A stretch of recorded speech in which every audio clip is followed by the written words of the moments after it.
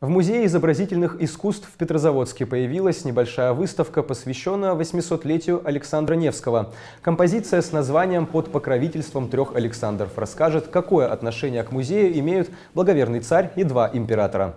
Мы связали историю а, князя, великого князя Александра Невского с историей нашего здания, с историей нашей музейной коллекции. И получилось, что наше здание, оно существует под покровительством трех Александров.